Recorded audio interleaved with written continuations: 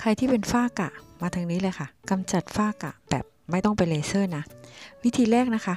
ให้ใช้ผงเบกกิ้งโซดาประมาณครึ่งช้อนชา ใส่น้ำมันระหุ่มไปสักครึ่งช้อนชาเหมือนกัน ให้มันเป็นเนื้อครีมๆนะ ใช้ทาแล้วก็พอกหน้าในตอนเย็น เน้นตรงฝ้ากะนะคะ คือนวดคลึงบริเวณนั้นทิ้งไว้ประมาณ 5-10 นาทีแล้วก็ล้างออก เบกกิ้งโซดาจะช่วยทำให้ผิวขาวขึ้น แล้วก็สีเข้มๆเนี่ยมันจะจางลงนะ วิธีที่ 2 นะคะ ให้ใช้หัวไชเท้าบ้านเรานี่แหละ เอามาสไลด์บางๆ แล้วก็แปะที่ฝ้ากะ ทิ้งไว้สักพักหนึ่งพอแห้งคึง แล้วก็ล้างออกน้ำของหัวไชเท้าเนี่ยจะกัดฝ้ากะ แต่ถ้าใครรู้สึกแสบหน้าหรืออะไรก็ล้างออกก่อนกำหนดนะคะ สูตรพวกนี้จะทำได้ 2-3 ครั้งต่อ 1 อาทิตย์นะ วิธีที่ 3 ก็คือใช้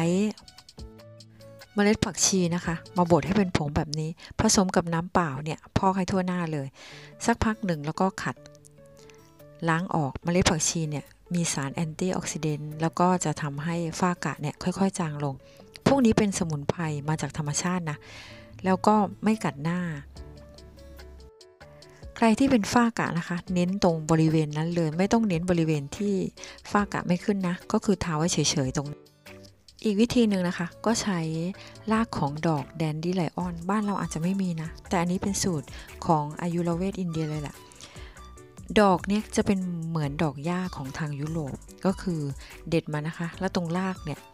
มันจะพอเราหักเนี่ยมันจะเป็นคล้ายๆน้ำนมแบบนี้ ให้ใช้ตัวน้ำนมนี่แหละทาให้ทั่วใบหน้า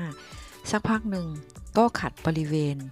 เน้นที่ฝ้ากะ แล้วก็ล้างออกถ้าใครที่อยู่เมืองนอกนะคะ ก็ทำได้แล้วก็หาง่ายด้วย สูตรพวกนี้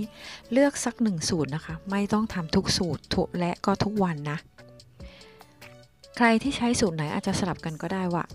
อ่าวันนี้ใช้สูตรนี้อีก 2 วันใช้อีกสูตรหนึ่งรับรองว่าสมุนไพรพวกนี้จะไปทำให้ฝ้ากระเนี่ยค่อยๆ จางลง แล้วสีผิวก็จะ ขาวสม่ำเสมอขึ้นมา และมีทริคหรือเคล็ดลับสุดๆ เลยที่จะบอกอันนี้เด็ดมากๆก็คือ ทุกวันต้องทาครีมกันแดด หล้างออกจากบ้านหรืออยู่ในบ้านก็ตามเนี่ย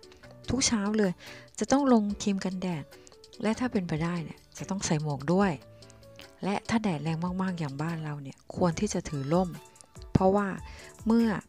โหนกแก้มหรือส่วนใบหน้าของเราที่รับแสงแดดเนี่ย